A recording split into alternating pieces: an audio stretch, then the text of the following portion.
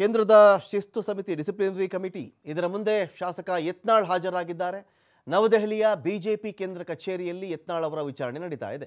ಒಂದು ಪಕ್ಷ ಅಂತ ಬಂದಾಗ ಅದಕ್ಕೊಂದು ಆಂತರಿಕ ಚೌಕಟ್ಟಿರುತ್ತೆ ಚೌಕಟ್ಟಲ್ಲಿ ಶಿಸ್ತು, ನಿಯಮ, ಅದರ ಉಲ್ಲಂಘನೆ, ಅದರ ವಿಚಾರಣೆ, ಶಿಕ್ಷೆ ಎಲ್ಲವೂ ಕೂಡ ಇರುತ್ತೆ. ಕ್ರಮ ಎಲ್ಲವೂ ಇರುತ್ತೆ. ಸೊ ಇದೀಗ ಯತ್ನಾಳ್ ಮೇಲೆ ಪಕ್ಷ ವಿರೋಧಿ ಕೆಲಸ ಮಾಡ್ತಾ ಇದ್ದಾರೆ ಇವರು. ಇವರಿಂದಾಗಿ ನಾವು ಆಡಳಿತಾರೂಢ ಪಕ್ಷದ ಮೇಲೆ ಸರಿಯಾಗಿ ಮುಗಿ ಬೆಳಕಾಗ್ತಾ ಇಲ್ಲ.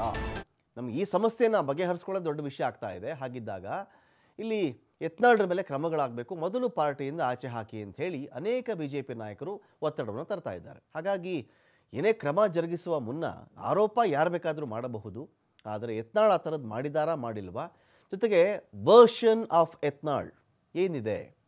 ಯತ್ನಾಳವ್ರಿಗೂ ಏನೋ ಮಾತನಾಡಲಿಕ್ಕೆ ಇರುತ್ತಲ್ಲ ಕಾರಣಗಳನ್ನ ಅವರು ಕೊಡಬೇಕಾಗತ್ತಲ್ಲ ಶೋ ಕಾಸ್ ನೋಟಿಸ್ ಕಾರಣಗಳನ್ನು ಕೊಡಿ ಇದಕ್ಕೆ ಅಂತ ಕೇಳಿರ್ತಾರಲ್ಲ? ಸರಿ, ತಗೊಳ್ಳಿ ಕಾರಣ ಕೊಡ್ತೀನಿ ಅಂತೇಳಿ ಕೂತಿದ್ದಾರೆ ಯತ್ನಾಳ್ ಅವರು. ಶಿಸ್ತು ಸಮಿತಿ ಅಧ್ಯಕ್ಷ ಪಾಠಕ್ ಅವರ ಮುಂದೆ ಯತ್ನಾಳ್ ಅವರು ಹಾಜರಾಗಿದ್ದಾರೆ. ಬಿ ಜೆ ಪಿ ಶಾಸಕ ಯತ್ನಾಳ್ರಿಗೆ ಪ್ರಶ್ನೆಗಳ ಸುರಿಮಳೆ ಇದೆ ಅಲ್ಲಿ. ಯತ್ನಾಳ್ ಮುಂದಿರ್ತಕ್ಕಂಥ ಪ್ರಮುಖ ಪ್ರಶ್ನೆಗಳು ಸಹಜವಾಗಿ ಇದನ್ನು ಯತ್ನಾಳ್ ವಿರೋಧಿ ಬಣವೋ ಅಥವಾ ಒಂದು ಪಕ್ಷದ ರಾಜ್ಯಾಧ್ಯಕ್ಷರಾಗಿ ವಿಜೇಂದ್ರ ಅವರು, ಅವರೇ ಈ ಒಂದು ಪ್ರಶ್ನೆ ಇಟ್ಟಿರ್ತಾರೆ ಅವರಲ್ಲಿ. ರಾಜ್ಯ ನಾಯಕರ ವಿರುದ್ಧವಾಗಿ ನೀವು ಯಾಕೆ ಈ ಥರ ಮಾಡ್ತಾ ಇದ್ದೀರಾ? ಏನಕ್ಕೆ ನಿಮ್ಮ ಬಂಡಾಯ ಯತ್ನಾಳ್ ಅವರೇ? ಈ ಥರದ ಬಂಡಾಯ ಯಾಕೆ? ಅದೇನೋ ಬೀದರಿಂದ ಅದೇನೋ ಹೊರಟಿದ್ದೀರಾ ನೀವು? ವಕ್ಫ್ ವಿಚಾರಕ್ಕೆ ಸಂಬಂಧಪಟ್ಟಂತೆ ಪಾರ್ಟಿಯಾಗಿ ರಾಜ್ಯಾಧ್ಯಕ್ಷರು ಏನು ಹೇಳ್ತಾರೋ ಆ ಪ್ರಕಾರ ಹೋಗಬೇಕಲ್ವೇ? ಈ ಥರ ರೆಬೆಲ್ ಯಾಕಾಗಿದ್ದೀರಿ ನೀವು? ಮೊದಲನೇ ಪ್ರಶ್ನೆ ಸಹಜವಾಗಿರುತ್ತೆ. ಈ ಹಿಂದೆಯೇ ನೋಟಿಸನ್ನು ನಿಮಗೆ ಕೊಡಲಾಗಿತ್ತು. ಕೊಟ್ಟಿದ್ದರೂ ಕೂಡ ನಿಮ್ಮ ನಡೆಯಲ್ಲಿ ಸುಧಾರಣೆ ಆಗಿಲ್ವಲ್ಲ ಯಾಕೆ?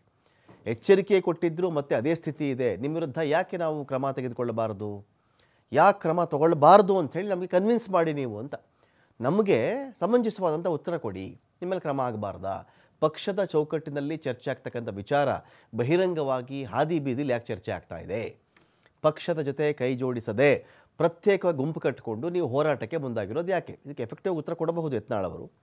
ಯಾಕೆ ಮಾಡ್ತಾ ಇದ್ದೀವಿ? ಉಪಚುನಾವಣೆ ಏನಾಯಿತು? ಏನು ಉದ್ದೇಶ ಇಲ್ಲಿ ಆಗ್ತಾ ಇದೆ? ಪಾರ್ಟಿ ಬೆಳೀತಾ ಇದೆಯಾ? ಒಬ್ಬನೇ ಒಬ್ಬ ನಾಯಕನ ಬೆಳೆಯೋಕ್ಕೋಸ್ಕರ ಇಂಥ ಕೆಲಸ ಆಗ್ತಿದೆಯಾ? ಇದನ್ನು ಯತ್ನಾಳ್ ಅವರು ಕೂಡ ಮಾತಾಡಬಹುದು. ಗುಂಪುಗಾರಿಕೆ ಮಾಡಿಕೊಂಡು ತಾವ್ಯಾಕೆ ಹೋರಾಟಕ್ಕೆ ಮುಂದಾಗಿದ್ದೀನಿ ಅಂತ.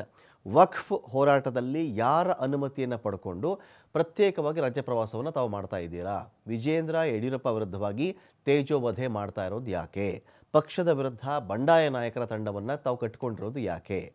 ಪ್ರತ್ಯೇಕ ಮೀಟಿಂಗ್ಗಳನ್ನು ಯಾಕೆ ಮಾಡ್ತಾ ಇದ್ದೀರಿ? ಪಕ್ಷದ ವರ್ಚಸ್ಸನ್ನು ಹಾಳು ಮಾಡ್ತಾ ಇರೋದು ಸರಿನಾ? ಹಿರಿಯ ರಾಜಕಾರಣಿಯಾಗಿ ಪಕ್ಷ ವಿರೋಧಿ ಚಟುವಟಿಕೆ ನಿಮಗೆ ಸರಿ ಕಾಣ್ತಾ ಇದೆಯಾ? ಈ ಥರದ ಪ್ರಶ್ನೆಗಳ ಸರಮಾಲೆಯೇ ಬರಬಹುದು. ಅದಕ್ಕೆ ಯತ್ನಾಳ್ರ ಬಳಿ ಕೂಡ ಉತ್ತರ ಇರುತ್ತೆ ಯತ್ನಾಳ್ರೇನು, ಉತ್ತರ ಇಲ್ಲದೆ ಇಂಥ ಕೆಲಸಗಳಿಗೆ ಮುಂದಾಗಲ್ಲ. ಜೊತೆಗೆ ಕೇಂದ್ರದ ಬಿ ಜೆ ಪಿ ಮಟ್ಟದಲ್ಲೋ, ಸಂಘದ ಮಟ್ಟದಲ್ಲೋ ಯತ್ನಾಳ್ಗೆ ಬೆಂಬಲ ಕೂಡ ಇಲ್ಲದೆ ಇಷ್ಟೆಲ್ಲ ಮಾಡೋಕ್ಕಾಗಲ್ಲ. ಯಾರಿಗೇ ಆದರೂ ಗೊತ್ತಿರತಕ್ಕಂಥ ಸಂಗತಿ ಎತ್ನಾಳ್ ಬಹಳ ಹಳೆಯ ರಾಜಕಾರಣಿ, ಕೇಂದ್ರದ ಮಂತ್ರಿ ಕೂಡ ಆಗಿದ್ದಂಥ ವ್ಯಕ್ತಿ, ಕೇಂದ್ರದಲ್ಲಿ ಸಾಕಷ್ಟು ಲಿಂಕ್ಗಳು ಕೂಡ ಇದೆ. ವಾಜಪೇಯಿ ಅವ್ರ ಕಾಲದಿಂದನೂ ಕೂಡ ಗಟ್ಟಿ ರಾಜಕಾರಣಿ. ಭಾಳ ಗಟ್ಟಿ ರಾಜಕಾರಣಿ. ಬಸನಗೌಡ ಪಾಟೀಲ್, ಯತ್ನಾಳ್ರು ಏನೋ ಹಗುರ, ಜಳ್ಳು ಏನು ಯಾರು ಬೇಕಾದರೂ ಬಂದು ಒಂದು ಚಾನ್ಸ್ ತೊಗೋಬಹುದು ಯತ್ನಾಳ್ ವಿರುದ್ಧವಾಗಿ, ಆ ಥರ ಇಲ್ಲ. B J P high command ನಾಯಕರಾಗಲಿ, ಸಂಘದ ನಾಯಕರಾಗಲಿ, ಯತ್ನಾಳ್ರಿಗೆ ಸಪೋರ್ಟ್ ಮಾಡೋದು ನಿಜ.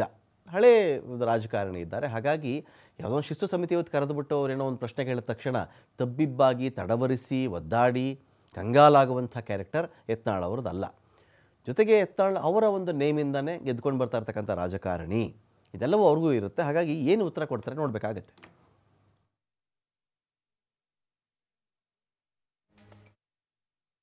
गवर्नमेंट ने लैंड दिया बाद में मकान बनाने के लिए पैसा दिया वो भी अभी वक्त करके आ रहे हैं उसमें दो मंदिर है विठल मंदिर